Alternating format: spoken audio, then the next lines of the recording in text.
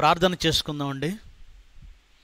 మహోన్నతుడవగు మా తండ్రి ఘనమైన మీ నామమునకు స్థుతి చెల్లిస్తున్నాం. నేడున్న భయంకరమైన పరిస్థితులలో ఎందుకు ప్రపంచము మీ కోపాగ్నికి గురైనదో లేఖనముల నుంచి కొన్ని విషయములు ఈ పగటి వేళ మేము ఆలోచిస్తూ ఉండగా మాకు సహాయం చేయండి. నెట్ ద్వారా వీక్షిస్తున్న ప్రతి బిడ్డకు మనోనేత్రము వెలిగించి మీ కోపాగ్నికి బలి కాకుండా తమను తాము కాపాడుకొని మిగిలిన ప్రపంచ మనుష్యులను కూడా మీ కోపాగ్ని జ్వాలల నుంచి మళ్ళించుటకు తగిన జ్ఞానము మీ బిడ్డలకు ప్రసాదించండి. ఈ భూమి మీద ఉన్నంత వరకు మీ చిత్తమును నెరవేర్చి ఈ భూమిని విడిస్తే మీరున్న లోకానికి అర్హత పొందే కృపా ధన్యత మాలో ప్రతి ఒక్కరికి అనుగ్రహించమని. యేసుక్రీస్తు వారి పవిత్రమైన నామమున ఈ ప్రార్థన సమర్పిస్తున్నాము తండ్రి. ఆమెన్. ప్రభునందు బైబిల్ మెసేజెస్ అను యూట్యూబ్ ఛానల్ను వీక్షిస్తున్న దేవుని పిల్లలందరికీ ప్రభునామమున శుభములు తెలియజేస్తున్నాను. ప్రియులారా బైబిల్ మెసేజెస్ అనే ఈ నూతనమైన యూట్యూబ్ ఛానల్ని సబ్స్క్రైబ్ చేయండి లైక్ చేయండి షేర్ చేయండి. భవిష్యత్తులో కూడా ఎన్నో నూతనమైన అంశాలతో ఈ ఛానల్ ద్వారా మీ ముందుకు దేవుని వాక్యములు తీసుకురావాలని నేను ఆశపడుతున్నాను. ప్రిలరా మీరంతా క్షేమంగా ఉన్నారు అని ఉండాలి అని తండ్రి అయిన దేవుణ్ణి ప్రార్థిస్తూ ఉన్నాను. ఈరోజు ఒక ప్రత్యేకమైన అంశంతో మీ ముందు నిలవాలని ఆ దేవాతి దేవుని వాక్యాన్ని మీతో పంచుకోవాలని నేను ఆశపడుతున్నాను. ప్రస్తుత ప్రపంచ పరిస్థితులు మీకు తెలియనివి కావు. ప్రపంచంలో అనేక దేశాలు. కరోనా అనే ఒక భయంకరమైన వ్యాధి బారిన పడి అతలాకుతలమై అల్లాడిపోతున్న సంగతి మనం చూస్తున్నాం. నిజంగా మునుపెన్నడు మన అనుభవంలో మన వయస్సులో మనం ఎన్నడూ చూడలేదు ఇది. అయితే చరిత్రను చూసుకుంటే ప్రతి వందేళ్ళకు ఒకసారి ఇలాంటి భయంకరమైన విపత్తులు రావడం అనేది మనం చూస్తూ ఉన్నాం. ఒకనాడు ప్లేగు ఆ తర్వాత కలరా ఆ తర్వాత మరొక భయంకరమైన రోగం. ఇప్పుడు మరో వందేళ్ళకు కరోనా ప్రపంచ దేశాలను చుట్టుముడుతుంది. ఎలాంటి పరిస్థితులు వచ్చాయంటే అందరూ తమ తమ పనులు మానుకొని ఇంటికి పరిమితం అయ్యాం లాక్డౌన్ పేరుతో. అగ్రరాజ్యాలు సైతం గజగజ వణికిపోతున్నాయి. దిక్కుతోచక ప్రతి దినము వందల సంఖ్యలో ప్రపంచంలో మరణాలు. సుమారుగా డెబ్బై ఐదు వేల మరణాలు ప్రపంచవ్యాప్తంగా ఈరోజు ఈ కరోనా అనే వ్యాధి వలన జరిగాయి అంటే నిజంగా చాలా ఆశ్చర్యం అనిపిస్తుంది భయం అనిపిస్తుంది. ప్రియులరా ఎందుకు ఇవన్నీ జరుగుతున్నాయి అన్నదానిపై ప్రపంచంలో మేధావి వర్గం అని చెప్పుకున్న శాస్త్రవేత్తలు కావచ్చు లేదా వైజ్ఞానిక వైద్యులు కావచ్చు దీని విషయంలో మాత్రం ఒక కంక్లూజన్కు వాళ్ళు రాలేకపోతున్నారు. ఇది ఎందుకు విజృంభించింది అనే దానిపై ఒక స్పష్టత వాళ్ళకు లేదు. దీన్ని ఎలా అరికట్టాలి అనే దానిపై కూడా వాళ్ళ దగ్గర ఎటువంటి ఆ, ప్లాన్ లేదు సమాధానం లేదు. ఎందుకంటే ఈరోజు మనం చూస్తున్నాం ప్రపంచంలో విజ్ఞానంలో నిరగామిగా నిలిచిన ఒక చైనా. ఎంత దారుణంగా దాని ఆర్థిక పరిస్థితి లేదా దేశమే పతనమైపోయిందో ఎలా అతలాకుతలం అయిపోయిందో చూసాం ఇక అగ్రదేశం అగ్రరాజ్యం అమెరికా ప్రపంచ దేశాలకు పెద్దన్న అంటాం మనం. ఈరోజు అమెరికా పరిస్థితి చూస్తుంటే నిజంగా చిన్న చిన్న దేశాల పరిస్థితే బాగున్నాయి అనిపిస్తుంది ఈరోజు. ఎందుకంటే వేల మరణాలు రోజుకు వేల మరణాలు అమెరికాలో. ఏం చేయాలో తెలియక మరి దేశాలను ఏలే అధినేతలే చేతులెత్తేసిన పరిస్థితి. ఇక ఇటలీ శవాల దెబ్బగా మారిపోయింది. శవాలను పాతి పెట్టడానికి కూడా ఎవరూ లేక ఎవరూ రాక ఏం చేయాలో తెలియక శవాల కుప్పలు ఇటలీలో మనకి కనబడుతున్నాయి. ఇక భారతదేశం అసలు లేదనుకోవడానికి లేదు కానీ ఆలస్యంగా ప్రవేశించింది. కానీ ఇప్పుడు భారతదేశంలో రోజు రోజుకి రోజు రోజుకి సంఖ్య విస్తరిస్తూ ఉంది. పాజిటివ్ కేసులు వస్తున్న వాళ్ళ సంఖ్య పెరుగుతుంది. చనిపోతున్న వాళ్ళ సంఖ్య పెరుగుతుంది. ఎందుకు అసలు ఈ పరిస్థితులు వస్తున్నాయి? దీనికి కారణం ఏంటి? చాలామంది చాలా రకాలుగా చెప్పారు. కానీ ఒక్కటి మాత్రం గుర్తుపెట్టుకోవాలి. ఈ ప్రపంచం అనేది దేవుని వలన సృష్టించబడింది. ఏ జీవైనా అవి ప్రౌఢజీవుల లేదా కంటికి కనిపించని చిన్న సూక్ష్మజీవుల భారీ ఆకారం కలిగినటువంటి పెద్ద జీవుల మనం కంటితో చూడలేని చిన్న జీవుల ఏ జీవైనా దేవుని వలన సృష్టించబడింది. అది కరోనా వైరస్ కావచ్చు మరో వైరస్ కావచ్చు లేదా తిమింగలం వంటి పెద్ద పెద్ద జంతువులు కావచ్చు ఏనుగు వంటి పెద్ద జంతువులు కావచ్చు. దేవుని వలన సృష్టింపబడిన ఈ ప్రకృతిలో జీవరాశులైన వైరస్ ఎందుకు ఈరోజు మనిషిని మట్టు పెడుతుంది? ఎందుకు మానవ జాతిని అంతం చేస్తుంది? దీనికి సమాధానం మనిషి చెప్పలేడు మనిషి విజ్ఞానం చెప్పలేదు శాస్త్రవేత్తలు చెప్పలేరు. దేవుడే చెప్పాలి. కారణం ఈ ప్రకృతికి సంబంధించిన మాన్యువల్ ఆయన చేతిలో ఉంది. ఆయన దానిని క్రైస్తవుడి చేతిలో పెట్టాడు. ఆ మాన్యువలే బైబిల్. బైబిల్ ఒక విజ్ఞాన గ్రంథం. బైబిల్ ఒక చారిత్రక గ్రంథం. బైబిల్ ఒక శాస్త్రాతీత గ్రంథం. బైబిల్ మనిషి జీవితానికి ఒక మాన్యువల్ లాంటిది. కానీ ఈరోజు దురదృష్టం ఏమిటంటే బైబిల్ని ఒక మతంగా చూడడం బైబిల్ని ఒక మూఢనమ్మకాల పుస్తకంగా చూడడం. మనిషి చేసిన అతిపెద్ద పొరపాటు. అన్ని సమస్యలకు బైబిల్ సమాధానం చెబుతుంది. అన్ని సమస్యలతో పాటు ఈరోజు ప్రపంచం ఎదుర్కొంటున్న భయంకరమైన సమస్య కరోనా. దీనికి కూడా బైబిల్ సమాధానం చెబుతుంది పరిష్కారం చూపిస్తుంది దాని మూలాలు చెబుతుంది. దీన్ని మతంగా చూడడం మానేస్తే నిజంగా మహాజ్ఞానాన్ని మీరు చూడగలరు. దీన్ని మతం అనే మబ్బు లేదా ముసుగు మీరు వేసుకుంటే ఇందులో ఉన్న మహాజ్ఞాన సంగతులు మీ కంటికి కనిపించవు. ప్రిల్లరా మరి ఈ కరోనా విషయంలో బైబిల్ ఏం చెబుతుంది? దాని మూలాలేంటి? కరోనా ప్రారంభం కావడానికి కారణం ఏంటి? దాన్ని ఎలాగా నిర్మూలించవచ్చు ఈ ప్రపంచాన్ని కాపాడొచ్చా? లేదా ఈ ప్రపంచం బ్రతికి బట్ట కడుతుందా? ఈ రోగం అసలు పోతుందా? ప్రపంచాన్ని విడుస్తుందా? మనుషులు బ్రతుకుతారా? లేదా మానవ జాతిని అంతా సమూల నాశనం చేసేంత వరకు ఇది ఇలాగే ఉంటుందా? ఈ ప్రశ్నలకు ఈరోజు మనం బైబిల్ నుంచే సమాధానం చూద్దాం. చాలామంది కరోనా రావడానికి కారణం చైనా అంటారు. చైనా కారణం ఒకటి ఒక కారణం చైనా ఒక కారణం. చైనా మాత్రమే కారణమైతే కరోనా చైనాకు మాత్రమే పరిమితం కావాలి. కానీ ఒక చైనాకు మాత్రం కాదు ప్రపంచ దేశాలకు అది విస్తరించింది. దీనికి కారణం ఏంటి అనేది లేఖనాల నుంచి మనం ఆలోచన చేద్దాం. ప్రిలరా మరి బైబిల్లో ఉన్న మంచి సంగతులను మనం లేఖనాలలో ఈరోజు మనం చూద్దాం. ఒకసారి మీ బైబిల్ తెరిచి యషయా గ్రంథం రెండవ అధ్యాయం పదకొండవ వచనము మరియు పదిహేడవ వచనాన్ని చదువుదాం. నరుల అహంకార దృష్టి తగ్గింపబడుతుంది. మనుష్యుల గర్వము అణగద్రొక్కబడుతుంది. ప్రిల్లరా ఈ మాటలు మనం చూస్తున్నప్పుడు ఆ దేవుడు ఒక ప్రాముఖ్యమైన సంగతి మనుషుల గురించి చెబుతున్నాడు. మనుషుల అహంకారము అహంకారము అహంకారము. ఈ మాట వింటుంటేనే బాధ అనిపిస్తుంది ఎవరైనా మన విషయంలో పిల్లలు కావచ్చు.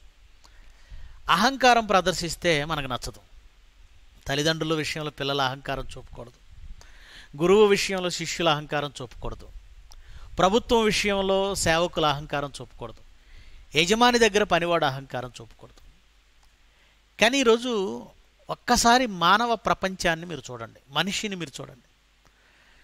మనిషి ఈరోజు విధేయుడా అహంకార అంటే అహంకారి భయంకరమైన అహంకారి. ఎంతటి అహంకారం అంటే మనిషికి దేవుణ్ణి లెక్క చేయటం లేదు. ఈరోజు మనిషి తనకు తానుగా జ్ఞాని అయ్యాడు. జ్ఞాని అయ్యానని భావిస్తున్నాడు. శాస్త్రాన్ని అభివృద్ధి చేసుకున్నాడు. తనకున్న శాస్త్రం తనకున్న విజ్ఞానం. ఏదో తాను చాలా సాధించాను అనే ఒక ఆలోచనతో మనిషి దేవుణ్ణి విడిచిపెట్టాడు. ఈరోజు శాస్త్రవేత్తలను చూడండి లేదంటే ప్రభుత్వాలను చూడండి దేవుడు అంటే వాళ్ళకి లెక్కలేదండి. దేవుడు అంటే వాళ్ళకి అస్సలు గౌరవం లేదు. అహంకారం. చైనా దేశం దేవుణ్ణి నమ్మదు. చైనా అధ్యక్షుడు జిన్పింగ్ ఎలాంటి వ్యాఖ్యలు చేశాడో మీరు గతంలో విన్నారు. యేసుక్రీస్తు ఫోటో తీసేయండి నా ఫోటో పెట్టండి. ఒక మనిషి ఆరు అడుగులో ఆరు అడుగులు కూడా ఉండడం పొట్టివాళ్ళు కదండి చైనా వాళ్ళు పొట్టివాళ్ళు. ఆఫ్టర్ ఆల్ మట్టి మట్టి ఘటాలలో ఉన్నటువంటి మనిషి ఆరు అడుగులు ఐదు అడుగుల మనిషి. అసలు సృష్టికర్త అంటే ఎవరో? దేవుడు అంటే ఎవరు? ఆయన శక్తి అంటే ఏంటో? ఏమైనా మనిషికి తెలుసా? దేవుడు లేడనే ఒక తప్పుడు పాఠాలు ప్రారంభం నుంచి మనిషి మెదడులోకి వచ్చేయండి. కళశాస్త్ర పితామహుడు అని పేరు పెట్టబడిన అరిస్టాటిల్ దగ్గర నుంచి శాస్త్రం అనేది దేవుడు లేడు అనే ఒక భావజాలం మీద మనుషుల మధ్య ప్రకటించబడింది. మనుషుల మధ్యకి వచ్చింది. దేవుడు లేడు అన్న భావజాలమే శాస్త్రం నూరిపోసింది మనుషులకి. మనిషికి ఉన్న ఈ శాస్త్రాన్ని చూసి మనిషి గర్వించి వెర్రవీగి దేవుడు లేడు అని దేవుడు అంటే అబద్ధమని దేవుడిని ప్రక్కన పెట్టారు. దేవుడు లేడనుకున్న మనిషి ఎంతవరకు వచ్చాడంటే దేవుని మాట అని చెప్పబడిన బైబిల్ని ధిక్కరించడం ప్రారంభించాడు. ఎందుకంటే ధైర్యం వచ్చింది. దేవుడు లేడు కదా. దేవుడు లేనప్పుడు దేవుడు మాటని ఎందుకు లెక్క చేయాలి? దేవుని మాట ఎందుకు అవుతుంది ఇది అని బైబిల్ను లెక్క చేయడం మానేశాడు. బైబిల్ను గౌరవించడం మానేశాడు.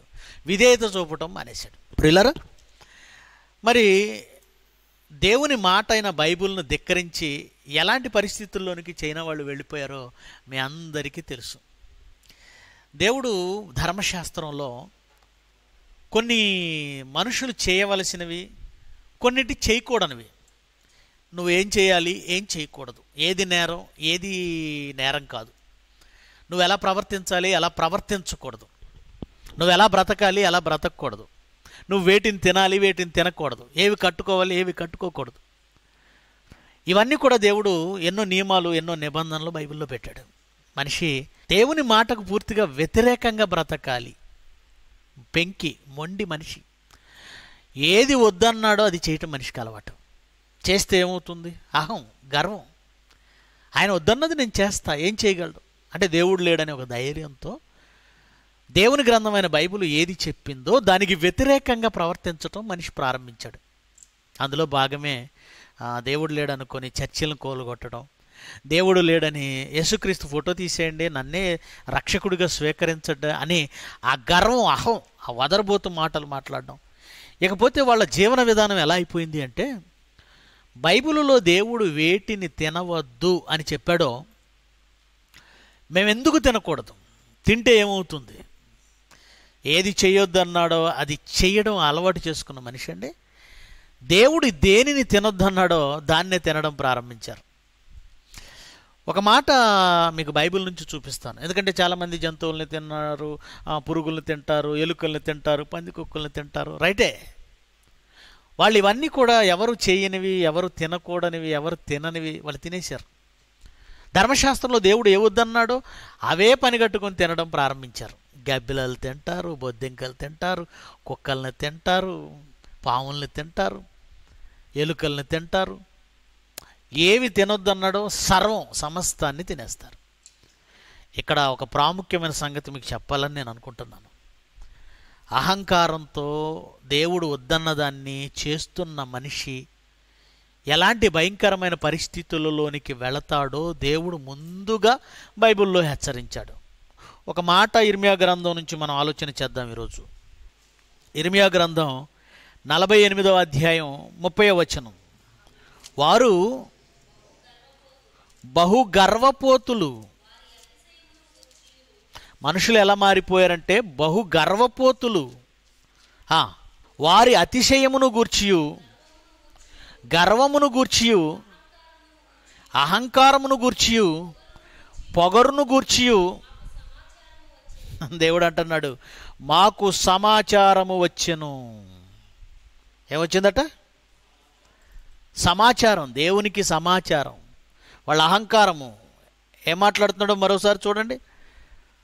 వారి అతిశయమును గూర్చియు గర్వమును గూర్చియు అహంకారమును గూర్చియు. పొగరును గూర్చియు. మాకు సమాచారము వచ్చెను. మాకు సమాచారం వచ్చింది. అహంకారులు మనుషులు. గర్వం మనిషికి. దేవుడేమంటున్నాడు చూడండి. తాము తమ తామసమును వచించరాని వారి ప్రగల్భములు నాకు తెలిసే ఉన్నవి. వారి తామసమును వచించరాని వారి ప్రగల్భములను నాకు తెలిసే ఉన్నవి. చేయదగని క్రియలు వారు బహుగా చేయుచున్నారు. ఇదే యహోవా వాక్కు. వారు ఏం చేస్తున్నారట? చేయరాని క్రియలు. అంటే అహంతో నిండిపోయిన మనిషి చేయరాని క్రియలు భయంకరంగా చేస్తాడట. భారీగా చేస్తాడట. దీని పర్యవసానం ఎలా ఉంటుందో దేవుడు ముందుగానే చెప్పాడు బైబిల్లో. ఏంటి చేయరాని క్రియలు? ప్రిల్లరా ఈరోజు చైనా దేశం గురించి మనం ఆలోచిస్తున్నాం. వాళ్ళు తినకూడని వాటన్నింటినీ తింటున్నారు. ఉదాహరణకు దేవుడు గబ్బిలాలు తినకూడదు అన్నాడు. గబ్బిలాలు తింటున్నారు. తర్వాత తర్వాత పందికొక్కులు తినకూడదు అన్నారు పందికొక్కులు తింటున్నారు. డెక్కలు కలిగి నెమర వేసే వాటిని తినమన్నారు. కానీ వీళ్ళు నెమర వేయని పంది వంటి వాటిని తింటున్నారు. ఇలా చెప్పుకుంటూ పోతే ప్రతి పురుగును ప్రతి జంతువును ప్రతి పక్షిని దేవుడు వద్దన్న ప్రతి దానిని తినడం ప్రారంభించారు. అయితే ఇక్కడ మీకు విషయం చెప్పాలి. వాళ్ళు తింటున్నవి చంపుకొని కాల్చుకొని అవి పూర్తిగా చనిపోయిన తర్వాత తింటే పర్వాలేదు. కానీ వీళ్ళకున్నటువంటి రోగం ఏమిటంటే వీళ్ళకున్నటువంటి ఆ ఏమంటారు దాన్ని ఒక జుబుక్సాకారమైనటువంటి సహకారమైనటువంటి వాళ్ళ చర్యలు ఏమిటంటే వాళ్ళ హీనమైన చర్యలు ఏమిటంటే ఈ మధ్యకాలంలో ఒక వీడియో వచ్చిందండి చూశాను. పెద్ద బాండ్లీ ఉంది.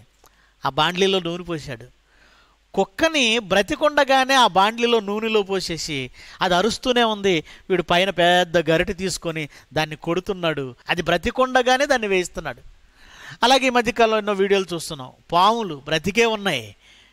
వాటిని అలాగా బాండ్లీలో వేసి వేయిస్తున్నాడు. అలాగే ఒక పక్షి బ్రతికుండగానే నూనెలో వేసి వేయించేస్తున్నారు. ఒక స్త్రీ అయితే పచ్చి కోడిని చీల్చి పళ్ళతో రక్తం తాగుతుంది తింటుంది. ఏం చేయాలి? ఎలా ఎలా చూడగలుగుతున్నాం అసలు? వాళ్ళు ఎలా చేయగలుగుతున్నారు? మనం చూడడానికి కూడా చాలా ఇబ్బందిగా ఉంది. మనం చూడలేకపోతున్నాం. చాలా జుగుప్సాకరంగా ఉంది. బ్రతికున్న ఎలుకలు తింటారు. బ్రతికున్నటువంటి పందికొక్కులు తింటున్నారు. బ్రతికున్న ఏమండి ఆ- రొయ్యలను బ్రతికున్న దాన్ని తినేస్తున్నారు. బ్రతికున్నటువంటి ఆ కుక్కని తినేస్తున్నారు. ఏమండి? అసలు మనం ఊహించలేనివి కూడా వాళ్ళు చేస్తున్నారు. దేవుడండి బైబిల్లో ఒక మాట చెప్పాడండి. బ్రతికున్నవి అనగానే జీవంతో ఉన్నవి ప్రాణంతో ఉన్నవి ప్రాణంతో ఉన్నవి. ప్రాణంతో ఉన్న వాటిని తినకూడదు వాటి ప్రాణాన్ని తినకూడదని బైబిల్లో దేవుడండి మరి ఎన్నో రూల్స్ నియమాలు పెట్టాడు. మన దేహానికి రక్తమే ప్రాణం.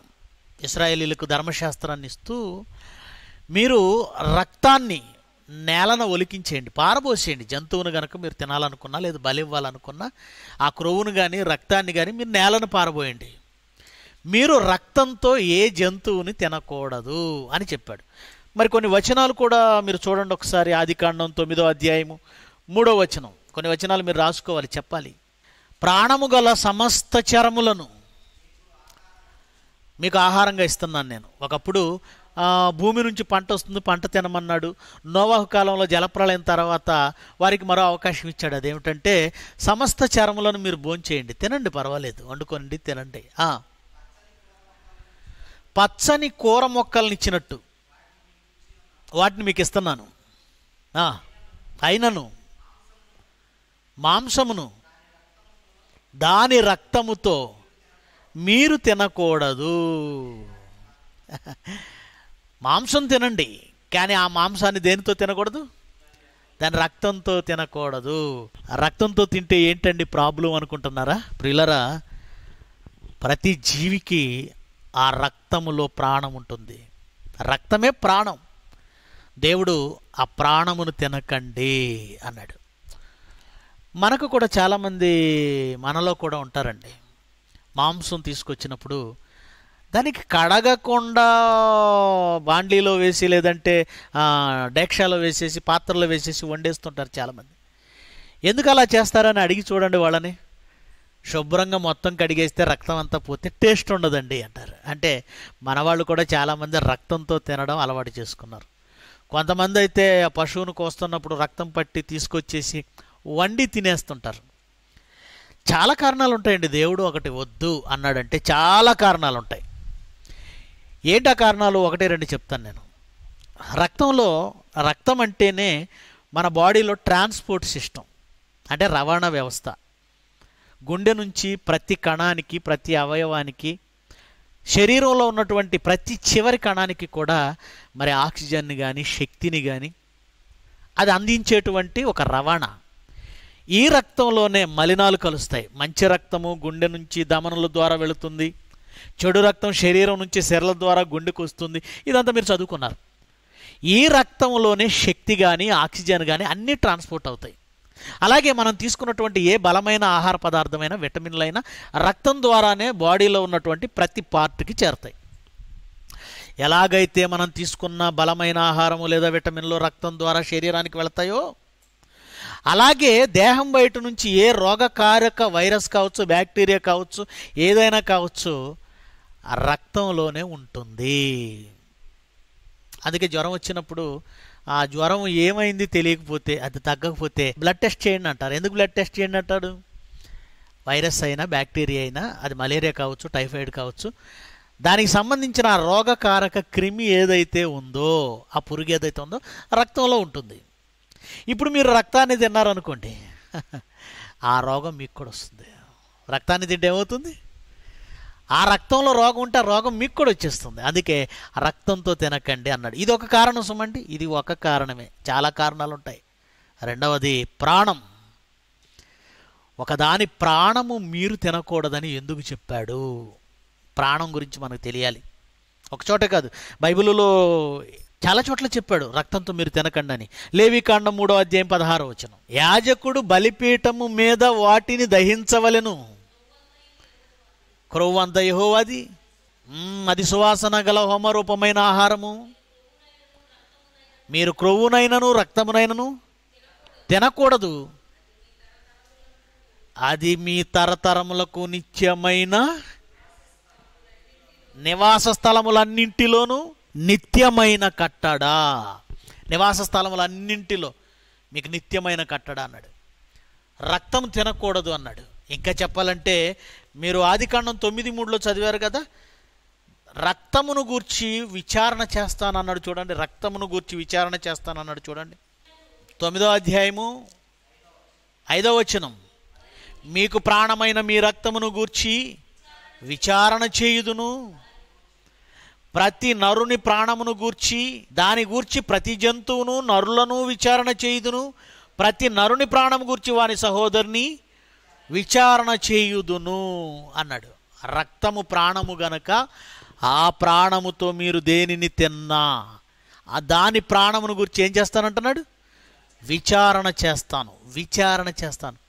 ఎందుకు ఇలా అంటున్నాడు అనంటే ప్రిలరా ఈ మధ్యకాలంలో ఒక యూనివర్సిటీ వాళ్ళు Ryerson university Toronto Ryerson university టొరంటోలో ఒక senior author doctor Michael Kolios ఒక ఆసక్తికరమైన విషయాన్ని బయటపెట్టాడు. ఏంటి ఆసక్తికరమైన విషయం ఏమిటంటే వారి యూనివర్సిటీలో కొంతమంది రీసెర్చ్ చేస్తున్నప్పుడు అది కూడా రెడ్ బ్లడ్ సెల్స్ మీద రీసెర్చ్ చేస్తున్నప్పుడు ఒక ప్రాముఖ్యమైన సంగతిని వాళ్ళు కనుగొన్నారు. అదేమిటో నేను చదువుతున్నాను వినండి. నేను చెప్తాను. చదివిన తర్వాత దాని అర్థం నేను చెప్తాను. New research reveals that when red blood cells are hit with laser light they produce high frequency sound waves that contain a great deal of information.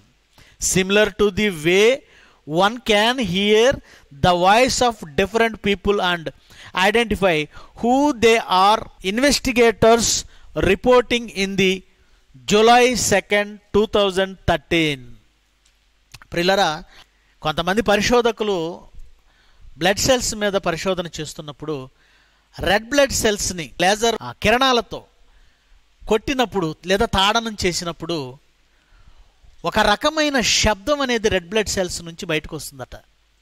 ఏంటి ఆ శబ్దం అంటే ఎవరో మాట్లాడినట్లుగా ఒక మనిషి మాట్లాడిన మాటలాగా ఒక గ్రూప్ ఆఫ్ పీపుల్ మాటలాగా ఆ ఒక సౌండ్ లాగా అది బయటకు వస్తుందట ఆ వేవ్స్ని వాళ్ళు పరిశోధన చేసినప్పుడు కొంతమంది మనుషుల వాయిస్ గుంపుగా గ్రూపుగా మాట్లాడితే ఎలా ఉంటుందో ఆ వాయిస్ అలా ఉందట.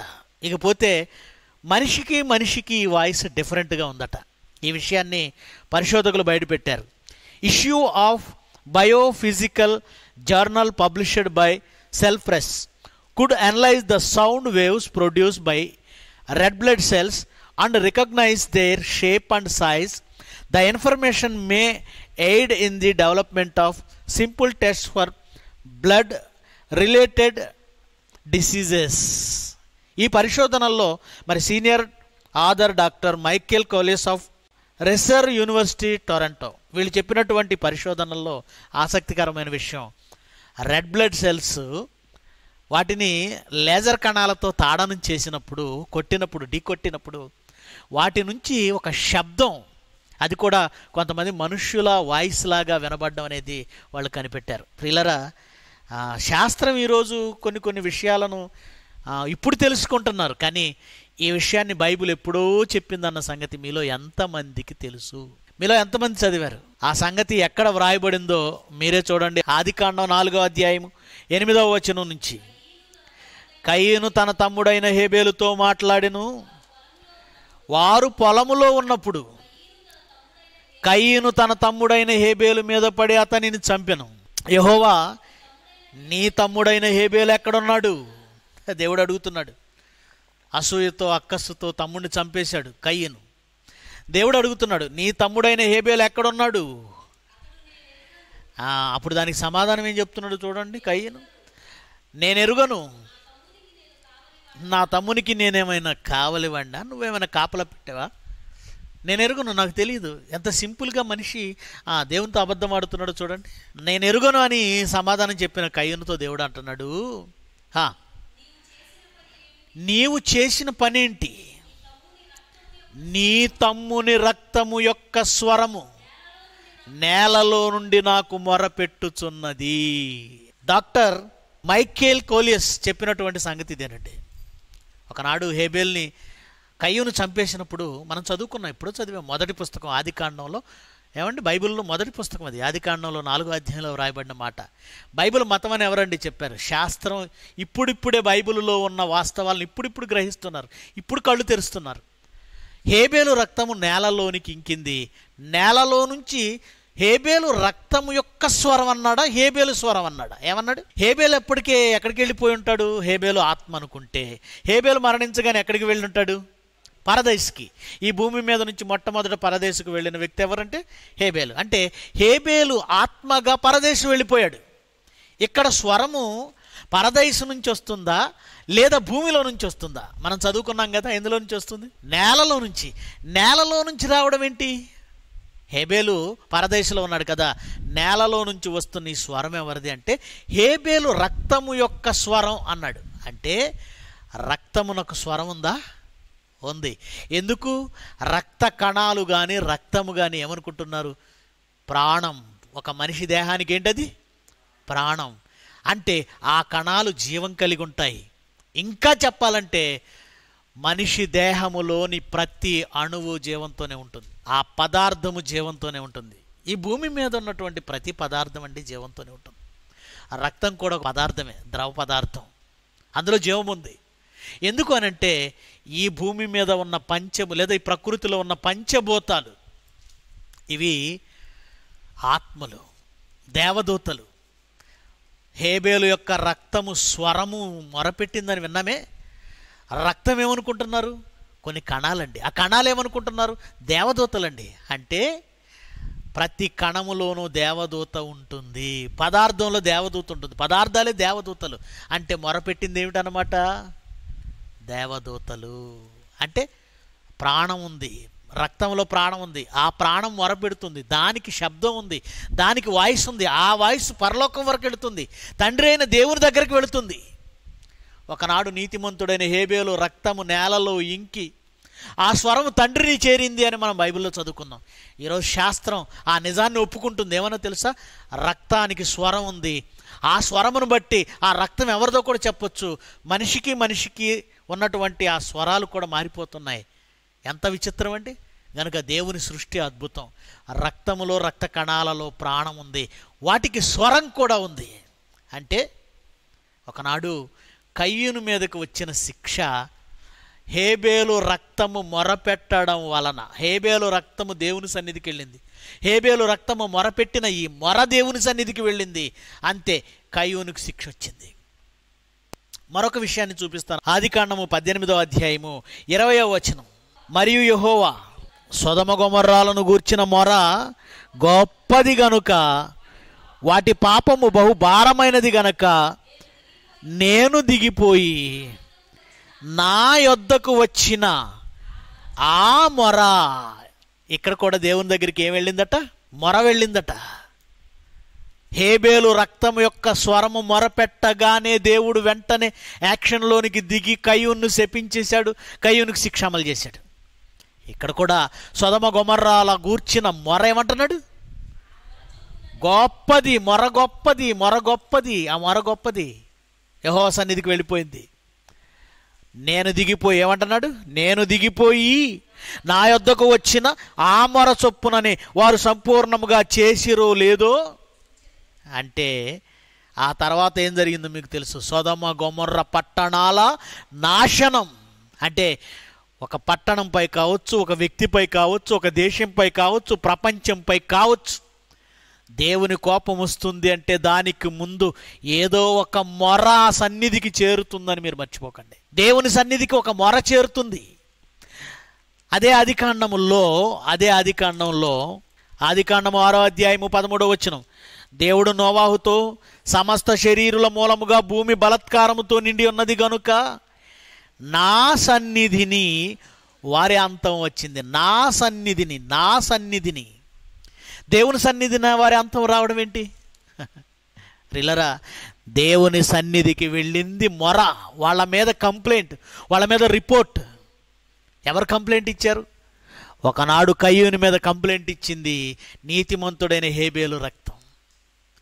ఒకనాడు సోదమ గుమర్ర పట్టణాల మీద కంప్లైంట్ వెళ్ళింది మొర వెళ్ళింది. ఒకనాడు నోవాహు కాలంలో మొర వెళ్ళింది. అంటే ఈ భూమి మీద నుంచి మొర దేవుని సన్నిధికి వెళ్ళుట ద్వారా దేవుడు యాక్షన్లోనికి దిగుతున్నాడు.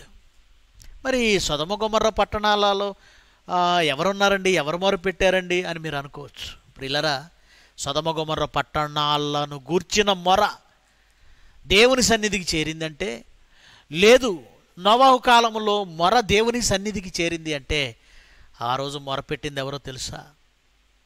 రోమపత్రిక. చూడండి ఎవరు మొరపెట్టారు. ఇరవై ఒకటి నుండి ఇరవై ఇరవై ఒకటి నుంచి చదువుతున్నాను. ఎలాగనగా సృష్టి నాశనమునకు లోనైన దాస్యములో నుంచి విడిపింపబడి దేవుని పిల్లలు పొందబో మహిమగల స్వాతంత్ర్యము పొందుదునను నిరీక్షణ గలదై స్వేచ్ఛగా కాక దానిని లోబరచిన వాని మూలముగా వ్యర్థపరచబడెను. అది స్వేచ్ఛగా కాదట. దానిని లోబరిచిన వాడు ఒక ఆయన ఉన్నాడట లోబరిచిన వాడెవరు దేవుడు. ఎవరికి లోబరిచాడు? మనుష్యులకు. సృష్టి స్వేచ్ఛగా మనుషులకు లోబడలేదట. ఇష్టం లేకుండానే లోబడిందట. అది కూడా దేవుడు లోబరిచాడు గనక లోబడిందట.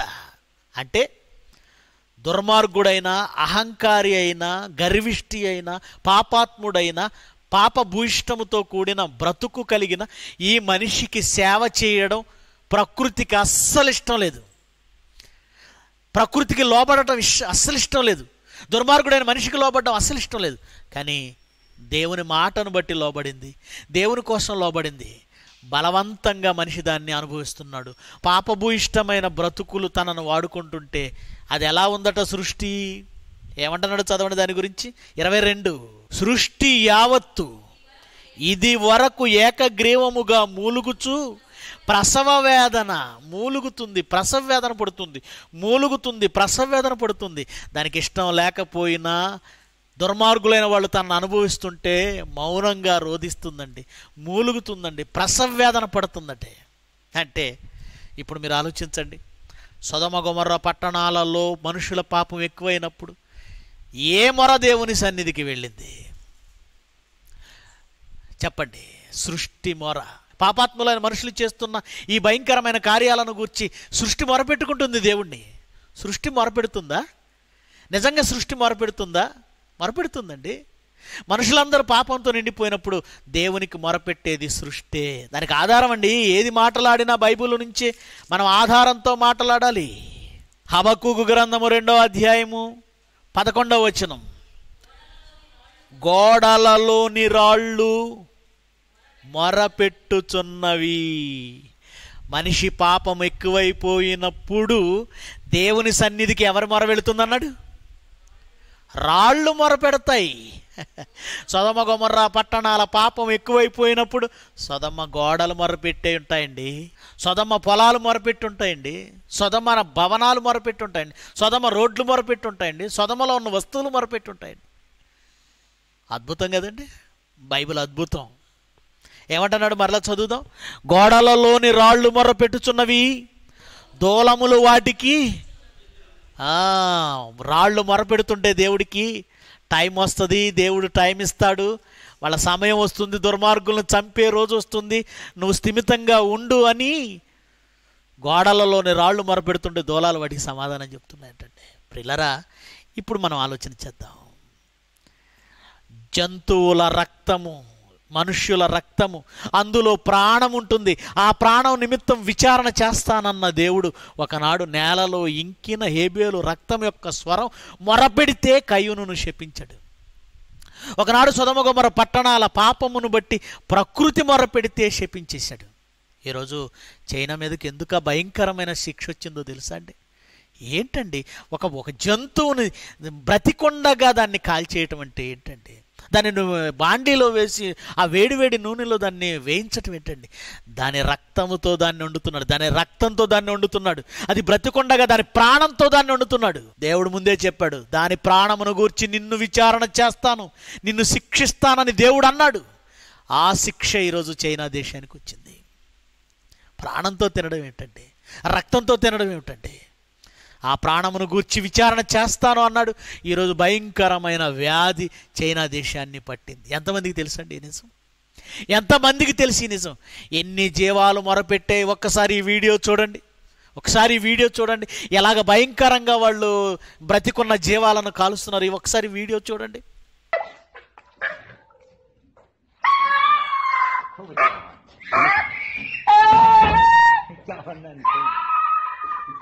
Oh,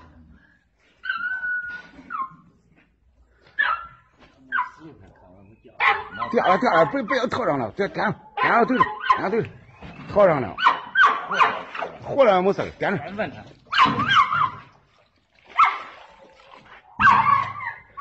点不了不了毛呗，不了毛呗，哎，掉我掉完了不了毛呗，掉不了，掉掉掉掉掉掉掉，看看，对对对对毛，我操！走！搁盆了吧？不管不吊的呀！过，着一把像驴。你别在这了，给大人弄啥的？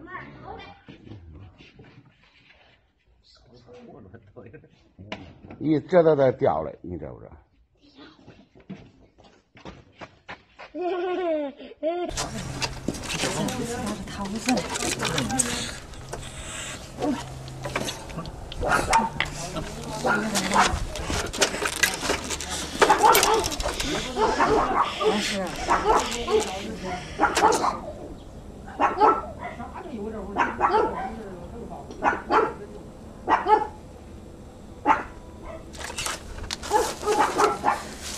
Legs or tails and skinned alive.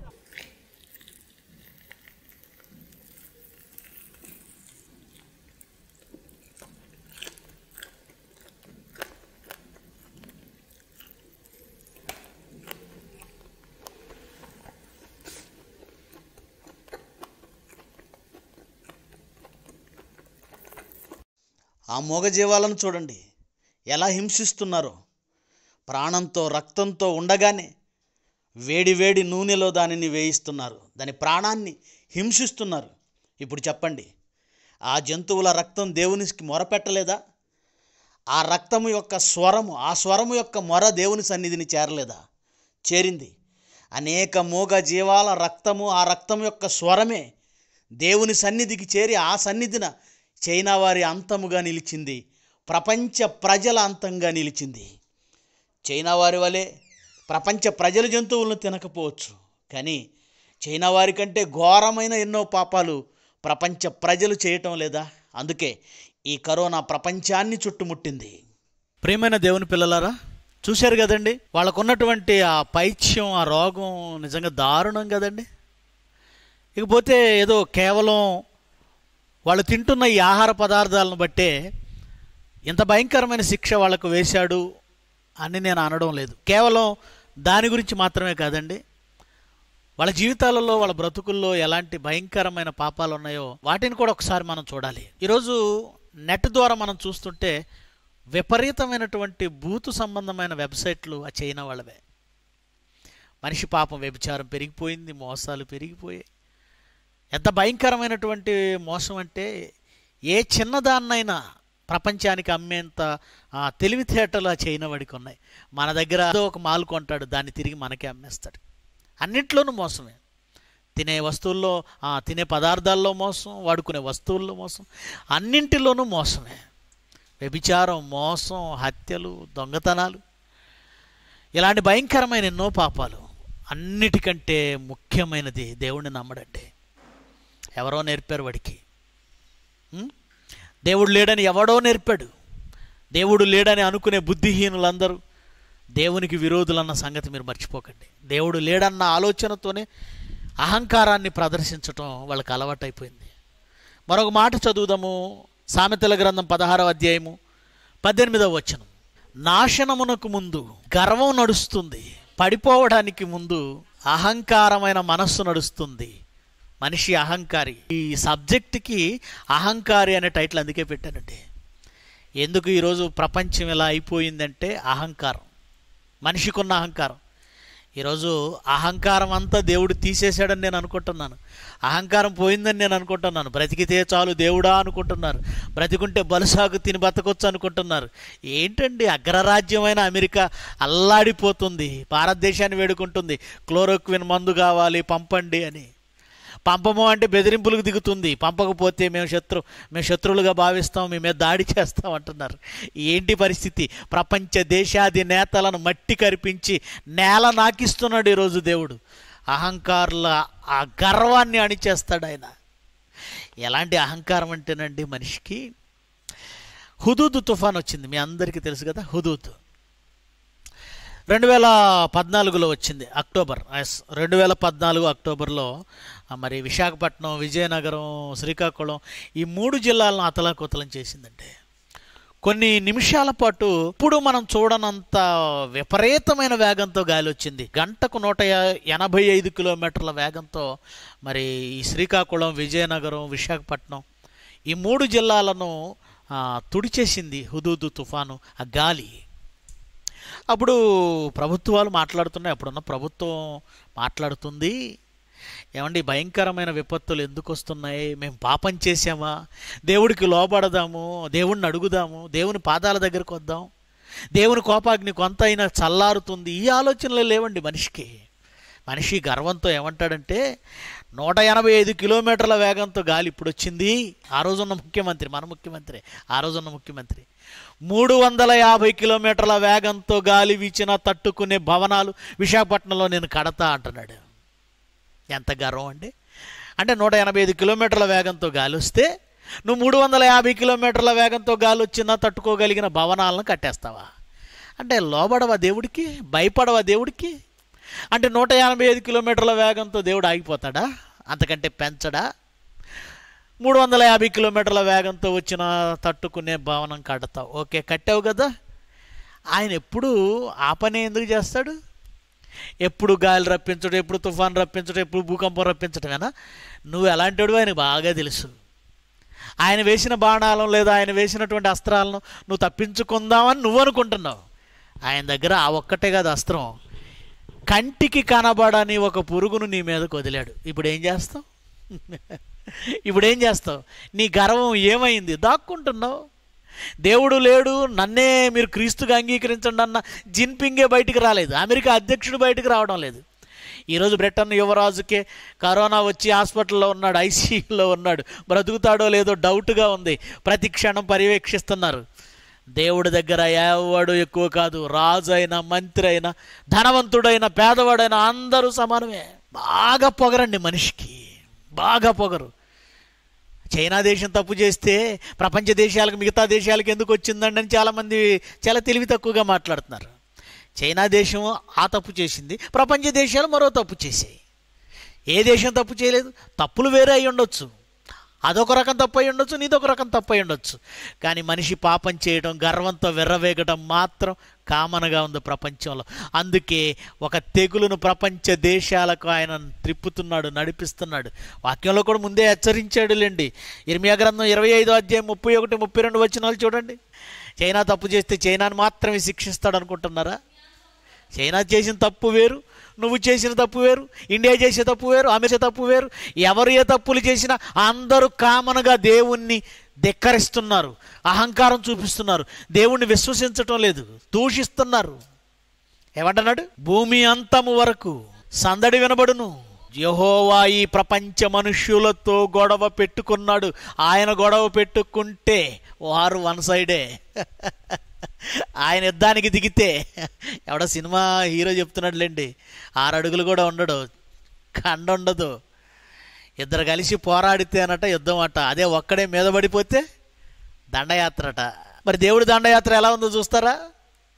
దేవుడి దండయాత్రను తట్టుకోలేక సైన్యాలు సైన్యాలు పారిపోతున్నాయి. దేహో దేవుడు ఏం చేస్తున్నాడట చదవండి? యహోవా జనములతో ప్రపంచ దేశాలతో వ్యాజ్యమాడుతున్నాడు చైనాతో వ్యాజ్యమాడుతున్నాడు అమెరికాతో వ్యాజ్యమాడుతున్నాడు ఇటలీతో వ్యాజ్యమాడుతున్నాడు ఇండియాతో వ్యాజ్యమాడుతున్నాడు శరీరులందరితో ఆయన వ్యాజ్యమాడుతున్నాడు ఆయన దుష్టులను ఖడ్గము ఖడ్గమును అప్పగించుతున్నాడు. సైన్యములకు అధిపతి యహోవా ఇలాగూ సెలవిచ్చుతున్నాడు. జనము నుండి జనమునకు కీడు వ్యాపించుచున్నది కరోనా వ్యాపించుచున్నది. చైనా నుండి ఇటలీకి ఇటలీ నుండి అమెరికాకి అమెరికా నుండి ఇండియాకి జనము నుండి జనమునకు తెగులు వ్యాపించుచున్నది. భూదిగంతముల నుండి గొప్ప విపత్తు బయలుదేరింది. ప్రపంచాన్ని తుడిచిపెట్టేస్తుంది. ఏమండి? ఈరోజు ఎలా అయిపోయిందంటే పరిస్థితి రెండు మీటర్ల దూరంలో ఉండాలట ఆరు అడుగుల దూరంలో ఉండాలట. ఏమండి? వీటి మీద టిక్ టాక్లు చేసేవాళ్ళు కామెడీలే కామెడీలు. పరిస్థితి ఎలా ఉంది ఏంటనే భయం కూడా లేదు వీళ్ళకి. కామెడీ మొదలు పెట్టారు ఉపద్రవం వస్తుంది మీరు చస్తారు అంటే అపహాసకులు ఎక్కువైపోయారట. బైబిల్లో దేవుడు చెప్పాడు కరోనా వచ్చింది ఏమైపోతామో మనకి ఎక్కడొస్తుందో దేవుని కోపాగ్నికి మనం కూడా బలైపోతామేమో ఈ దశలోనైనా మారాలి మనం ఈ దశలోనైనా దేవుణ్ణి వేడుకోవాలి. ఏ ఒక్క బుద్ధిహీనుడికి లేదండి దాని మీద జోకులు టిక్ టాక్ వీడియోలు కామెడీలు దూరం దూరంగా ఉండాలట. సామాజిక దూరం పాటిద్దాం అబ్బా. భౌతిక దూరం పాటిద్దాం. అబ్బా సామాజిక దూరం అంటే ఏంటో భౌతిక దూరం అంటే ఏంటో సరైనటువంటి డెఫినేషన్ తెలియటం లేదు వాళ్ళకి. ఒకడు సామాజిక దూరం అంటాడు ఒకడు భౌతిక దూరం అంటాడు. ఆ? ప్రేమని దేవుని పిల్లలరా ఈరోజు దేవుడు కొట్టిన దెబ్బ ఈరోజు ఎలా ఉందో తెలుసా? ఎవడు ఎవడికి షేక్ హ్యాండ్ ఇవ్వటం లేదండి. ఇప్పుడు సంస్కృతి అట ఇండియా సంస్కృతి గొప్పదంట దండం పెడతట. ఎవడు ప్రపంచ దేశాలను ఎందుకు దేవుడు శిక్షించాడో చెప్పనా? వీళ్ళకి ఎంత ఎక్కువైపోయిందంటే డబ్బు వచ్చేసిందండి ప్రపంచ దేశాలకు విపరీతంగా డబ్బు వచ్చింది. ధనమదం ఎక్కువైపోయింది. తిండి విపరీతంగా దొరుకుతుంది. తిండి దొరుకుతుంది డబ్బు దొరుకుతుంది సమయం ఎక్కువ ఉంది ఏం చేస్తారు? పిచ్చి ఎక్కువైపోయి ఒకడు ఏం చేస్తున్నాడో చూడండి. ఇలా ఏంటంటే ఫ్రీ హగ్స్ అట. ఏ హగ్గులట? ఫ్రీ హగ్గులా. చొక్కా విప్పేసి రోడ్డు మీద ఫ్రీ హగ్గులని నిలబడ్డాడండి వాడు. ఫ్రీ హగ్గులు. ఏమంటే వాడికి సిగ్గులేదు? ఆడవాళ్ళు పెద్దవాళ్ళు చిన్నవాళ్ళు మగవాళ్ళు ముసలివాళ్ళు పెళ్ళి కాని ఆడవాళ్ళు వచ్చేసి వాడికి హగ్గులు ఇచ్చేస్తున్నారు. ఒక స్త్రీ పురుషులు బాధ్యతగా ఉండాలి భర్తకు తప్ప తన దేహము మరొకరికి స్పర్శ తగలకూడదనే ఇంకిత జ్ఞానం. ఈరోజు మనుషులు ఎలా అయిపోయారంటే పబ్లిక్గా హగ్గుల అంటే కౌగిలింతలండి. పబ్లిక్గా కౌగిలింతలు పబ్లిక్గా ముద్దులు. ఒకసారి వీడియో చూడండి మీరు.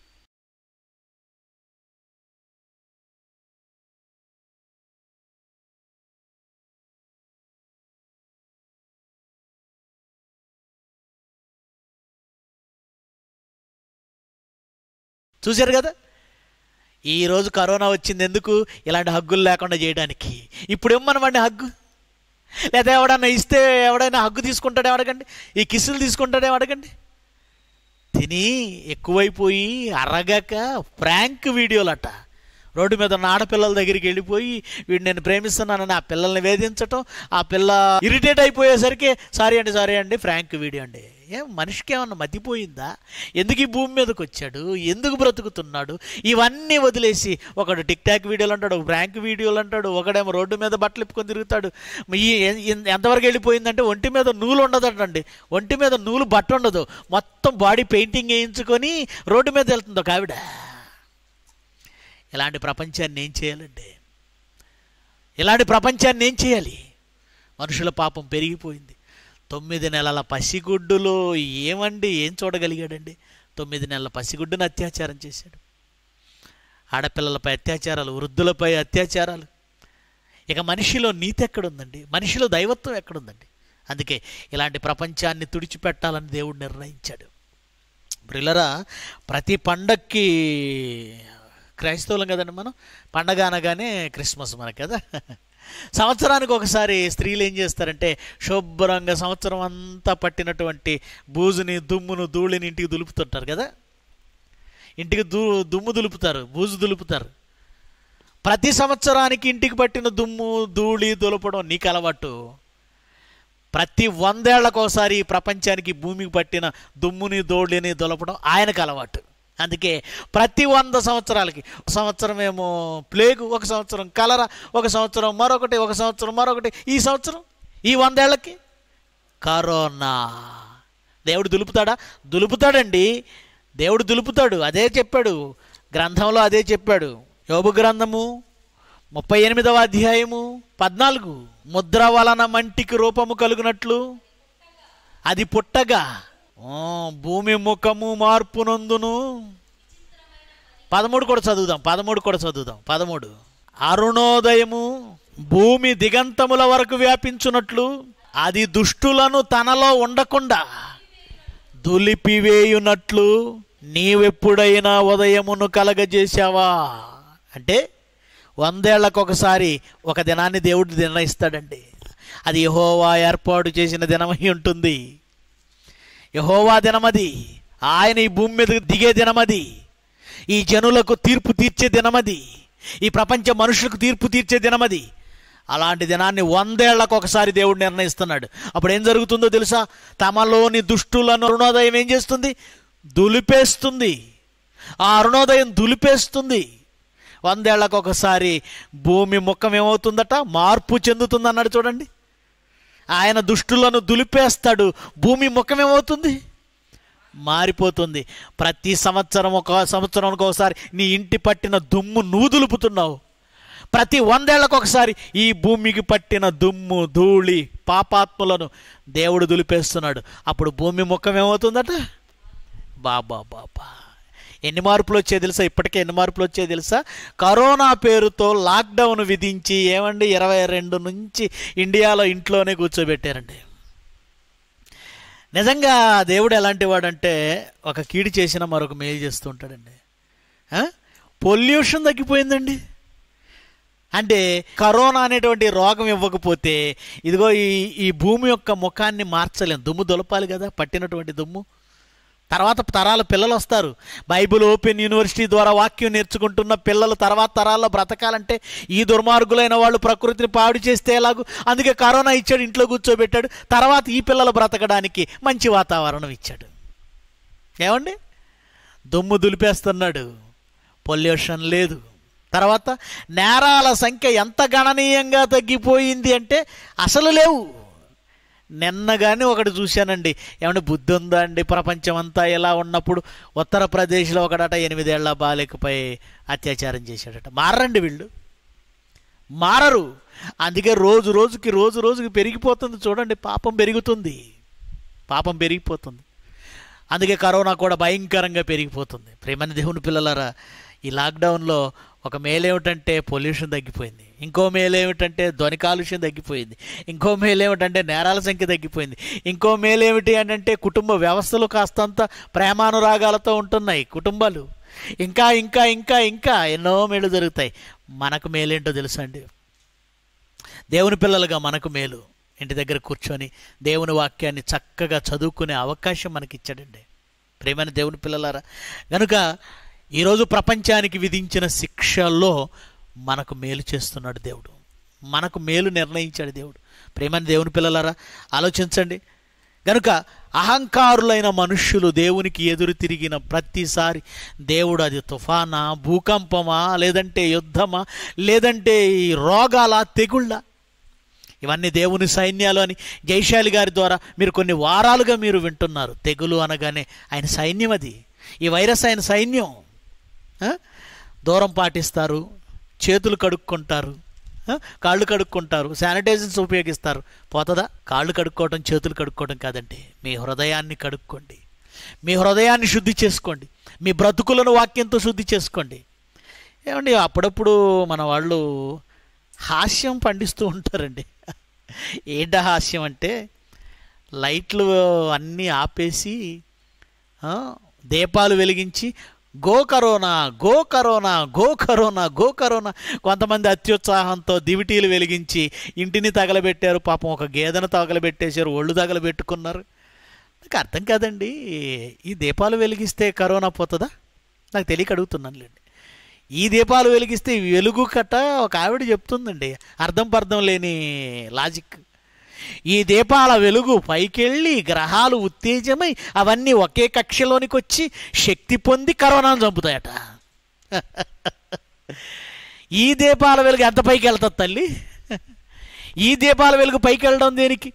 సూర్యుడి పైనే ఉన్నాడుగా. సూర్యుడి కంటే గొప్ప వెలుగా ఈ దీపాలు.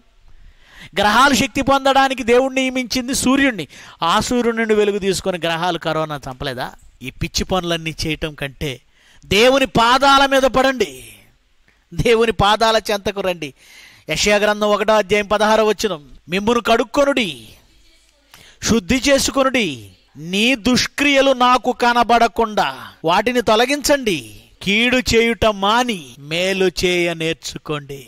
ప్రపంచ ప్రజలకు ప్రభుత్వాలకు ఈరోజు ఒక క్రైస్తవుడిగా జైశాలి గారి తనయుడిగా దేవుని మాటను చెబుతున్నాను వినండి.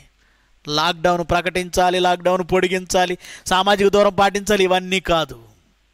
ఇవన్నీ కాదు. కీడు చేయటం మానండి. మేలు చేయ నేర్చుకోండి. మిమ్మల్ని మీరు కడుక్కోండి. మిమ్మల్ని మీరు శుద్ధి చేసుకోండి. మారండి. ఒకనాడు నినివే పట్టణాన్ని సర్వనాశనం చేయాలని వారి ప- వారికి ఉన్నటువంటి పాపాలను బట్టి వాళ్ళను నాశనం చేయాలని దేవుడు నిర్ణయం తీసుకున్నాడు. దేవుడు ఏ జనమునైనా ఏ జాతినైనా ఏ దేశాన్నైనా నాశనం చేయాలనుకున్నప్పుడు తన పిల్లలైన ప్రవక్తలను పంపి వాళ్ళని ఒకసారి హెచ్చరిస్తాడు. మారండి ఇప్పటికైనా మారండి అని. అలాగే తన కుమారుడైన యోనాను పంపించాడు నినివే పట్టణానికి. మూడు దినముల ప్రయాణం అంతా నిడివి కలిగిన పట్టణం అది. విస్తారముగా వెళ్ళి తిరిగాడు సంచరించాడు ప్రకటించాడు. అయితే అప్పుడు ఏం జరిగిందో తెలుసా?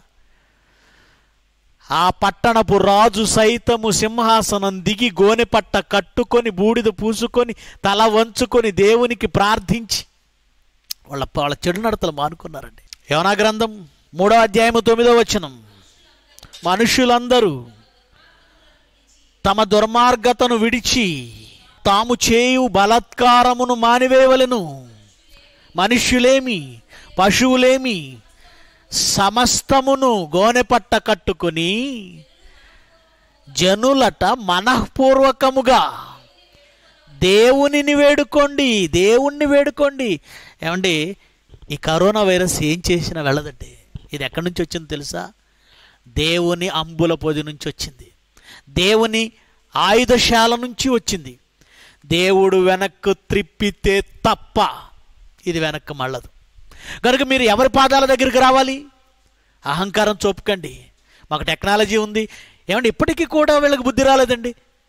చైనా కరోనా రాగానే ఏమండి పదిహేను రోజుల్లో శానిటేషన్ కోసం గొప్ప హాస్పిటల్ కట్టిందట. ఏమండి ఇప్పటికీ ఇన్ని దెబ్బలు తగిలిన గొప్ప చెప్పుకోవడమేనా? మేము ఇంత ఇంత ఇంత తొందరగా మేము ఇవి కట్టగలం అవి కట్టగలం ఇది చేయగలం అది చేయగలం. ఈరోజు చైనా పరిస్థితి ఏంటి? వాళ్ళ ఆహాన్ని దేవుడు దెబ్బతీశాడు. వాళ్ళ ఆర్థిక వ్యవస్థను దెబ్బతీశాడు. వాళ్ళ గర్వాన్ని అణిచాడు. వాళ్ళ పొగరును అణిచాడు. వాళ్ళ అహంకారాన్ని దించాడు.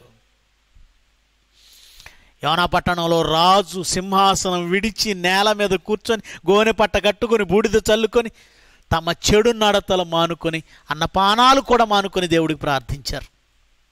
ఇప్పుడు ఏం చేయాలో తెలుసా? ట్రంప్ ఇండియాను వేడుకోవడం కాదు. ఒక క్రైస్తవుడు దేవుణ్ణి వేడుకోమనండి. ఆ దేశంలో ఉన్న తప్పుల్ని చెడు నడతలను మానేయమనండి తప్పుడు చట్టాలు తీసేయమనండి మనుషుల పాపాలు మానేయమనండి అందరూ మోకరించి ప్రార్థన చేయమనండి. అందరూ మారు మనసు పొందమనండి. దేవుని కోసం బ్రతుకుతామని ఒక నిర్ణయం తీసుకోమనండి. అది ఇండియా అయినా అమెరికా అయినా ఇటలీ అయినా చైనా అయినా దేవుని పాదాల చెందకు వస్తే అప్పుడు దేవుడు కరుణిస్తాడు.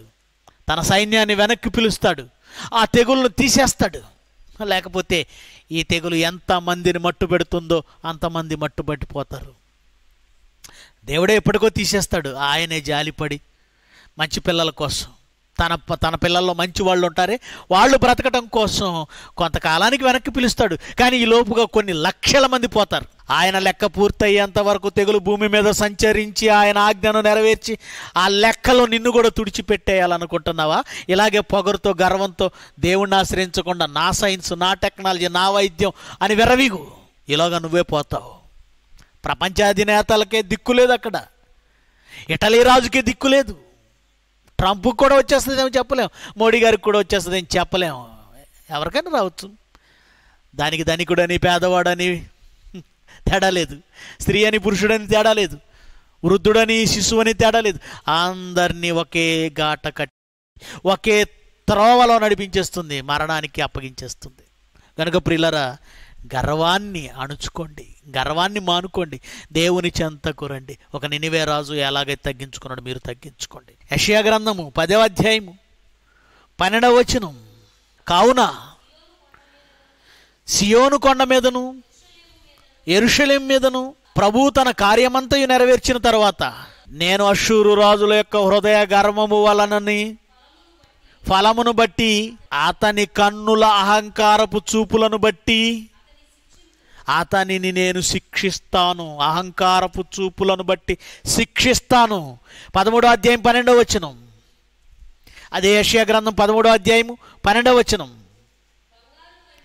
బంగారు కంటే మనుషులను ఓఫీరు దేశపు సువర్ణము కంటే నరులను ఆరోదుగా ఉండజేస్తాను. ఇక్కడి వరకు దేవుడు రాకుండా చూసుకోండి. బంగారం కంటే మనుషులే అరుదైపోతారట.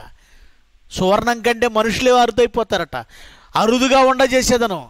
ఇంకేమంటున్నాడు?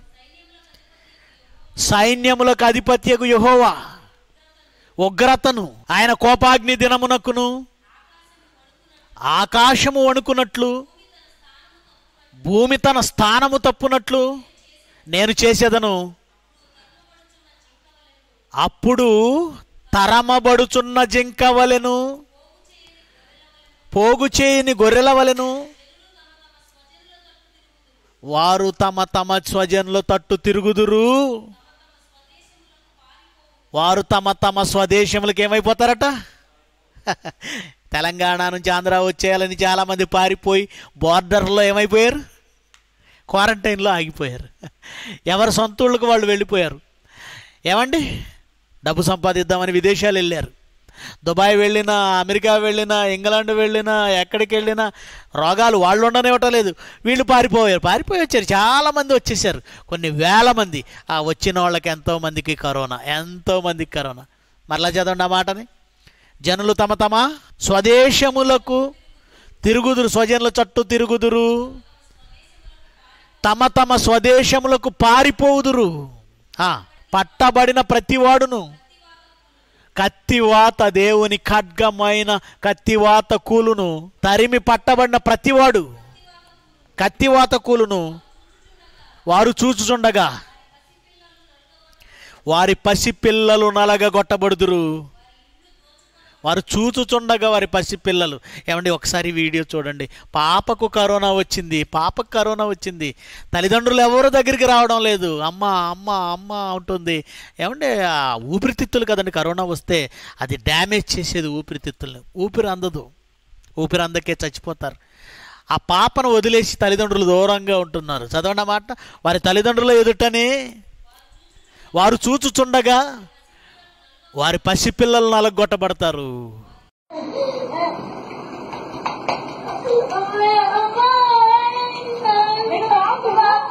हाँ हाँ दूसरे पर बेटा दूसरी पर लो दूसरी पर दूसरी पर बेटा ले जाओ ले जाओ मैं अभी फोन कर रहा हूँ मैं फोन कर रहा हूँ अभी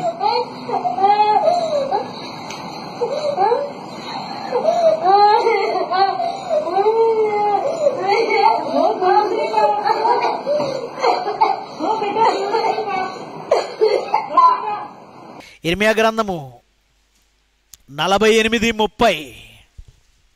ముగించేసుకుందామండి.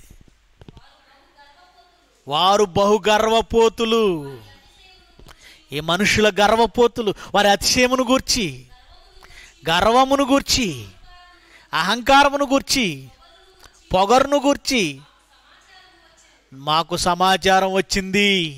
ఆ.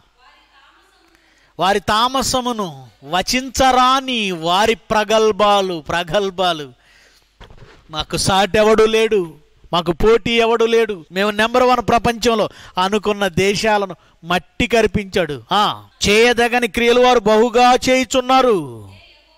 ఇదే ఇదే యహోవా వాక్కు. చివరిగా యశ్యా గ్రంథము రెండో అధ్యాయం పదిహేడవ వచనం చదవండి. అప్పుడు నరుల అహంకారము అణిగిపోయిందండి. ఏ దేశాన్ని చూసినా మా ఆర్థిక వ్యవస్థ దెబ్బతింది. చేతులు ఎత్తేస్తున్నారు నరుల అహంకారము అణగద్రొక్కబడును. మనుష్యుల గర్వం తగ్గిపోయింది. లైన్లోకి వచ్చారా? చాలామంది లైన్లోకి వచ్చారు కరోనా దెబ్బతో. మనుషుల గర్వం అణిగిపోయింది. ఇంకా అణగాల్సింది ఉంది ఇంకా రెచ్చిపోతున్నాడు మనిషి. తనకున్న విద్య తనకున్న జ్ఞానం గొప్పదనుకుంటున్నాడు. ఇప్పటికీ దేవుని దగ్గరికి రావడం లేదు. ఇప్పటికీ చాలామంది దేశంలో గర్వంతో క్రైస్తవ్యాన్ని లేకుండా చేస్తామన్నారు. గుర్తుందా మీకు? ఈ కరోనాలో వాడు పోతాడేమో నాకు డౌట్గా ఉంది. రెండు వేల ఇరవై ఒకటి కల్లా క్రైస్తవ్యాన్ని దేశంలో లేకుండా చేస్తామన్నవాడు ఈ కరోనాలో పోతాడేమో డౌట్గా ఉంది నాకు. ప్రిల్లరా దేవుని జోలికి రాకండి దేవుని పిల్లల జోలికి రాకండి. ఈ దేశంలో ఏం జరుగుతుంది? ఏం చేయాలనుకున్నారు ఈ దేశాన్ని? ఈ దేశంలో ఏం చేయాలనుకున్నారు? ఇది మీకు దేవుడు వేసిన శిక్ష. గుర్తుపెట్టుకోండి. మీ గర్వం అణిగిపోతుంది. నరుల అహంకారం అణుగదొక్కబడుతుంది. దేశం నీదా? ప్రజలు నీ వాళ్ళ? నీ ఇష్టమా? దేవుని వలన పొందిన అధికారాన్ని గుర్తించక గర్వంతో విర్రవీగుతూ అధికారం నాదనుకుంటున్నావా? నీ గర్వం అనొచ్చు అనగదొక్కబడుతుంది గర్వం తగ్గిపోతుంది. ఆ దినమున యహోవా మాత్రమే ఈ మాట చెప్పడానికి ఈరోజు ప్రసంగం చేస్తున్నాను. అందరూ వినండి.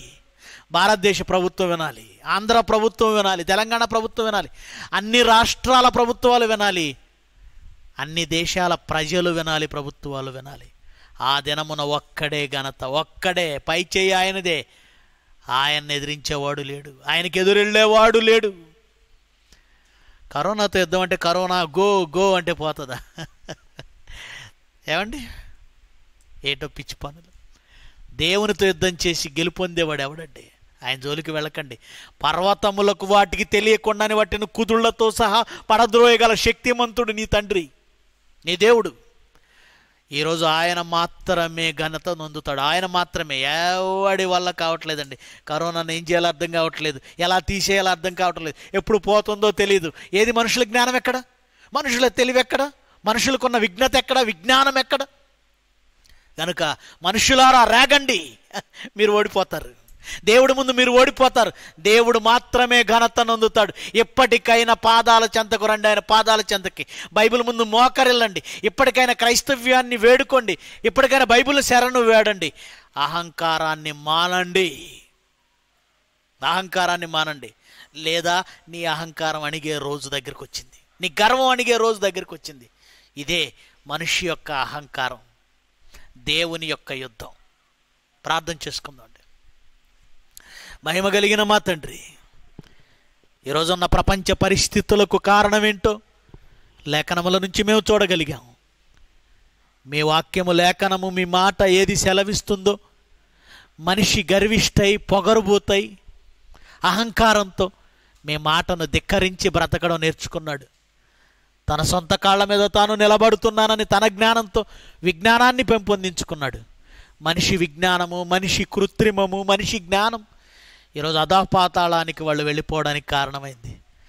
మీరు పంపించిన మీ సైన్యమైన తెగులను ఎదుర్కోలేక దేశాది నేతలే బోర్ల పడుతున్నారు. మంచాన ప మంచాన పట్టించారు. తండ్రి బాగు చేయాలంటే మీరే ఈ మనుషులు ఇప్పటికైనా మీ శరణు చొచ్చితే ఇప్పటికైనా అహంకారాన్ని మానుకుంటే ఇప్పటికైనా గర్వాన్ని వీడితే నాయన మీరే స్వస్థపరుస్తారు. గాయం చేసేది మీరే స్వస్థపరిచేది మీరే. మీ పిల్లలుగా మేము మీ నిర్ణయాలను కాదనలేము నాయన. కానీ ఇదిగో నాయన ప్రపంచంలో మీ కొరకు బ్రతికే పిల్లలను బట్టి సంఘమును బట్టి మీ కోపాగ్నిని తగ్గించుకోండి. మీ కోపం నుండి మళ్ళండి. ప్రపంచ దేశాలపై జాలి చూపించండి. కొందరైనా మారడానికి అవకాశం ప్రసాదించండి. విదేశాలలో ఎందరో సంఘం ఉన్నారు కువైట్లో సంఘం ఉంది దుబాయ్లో సంఘం ఉంది అబుదాబిలో సంఘం ఉంది ఎక్కడెక్కడైతే నాయన సంఘం ఉందో సంఘాన్ని కాపాడండి. మీ పిల్లల్ని కాపాడండి. అక్కడ నాయకులుగా ఉన్నవారిని కాపాడండి. డిప్యూటీ డైరెక్టర్స్ని కాపాడండి. ప్రిన్సిపల్స్ని కాపాడండి.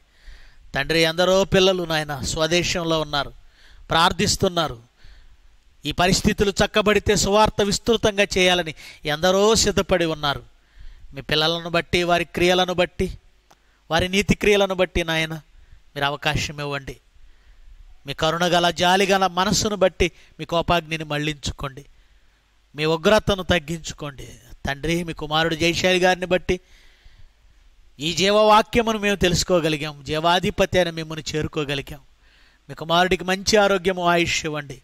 ప్రసన్ననైన జాన్సన్ అనేది జ్ఞాపకం చేసుకోండి. నాతోటి డెప్యూటీ డైరెక్టర్లు రాజేంద్ర అన్న ఉపేంద్ర అన్న తండ్రి మీ కుమారుడు సురేష్ గారు అలాగే బాబురావు గారు రాము రాము అన్న బిడ్డలందరినీ జ్ఞాపకం చేసుకోండి. ఆయుర ఆరోగ్యాలతో నింపండి. ప్రిన్సిపల్స్ని డిప్యూటీ డైరెక్టర్ని అడిషనల్ డిప్యూటీ డైరెక్టర్ని వైస్ ప్రిన్సిపల్స్ని లెక్చరర్స్ని ప్రతి ఒక్కరిని పేరు పేరున దీవించమని జ్ఞాపకం చేసుకోమని మీ చల్లని రెక్కల కింద కాపాడమని అర్థిస్తున్నాం.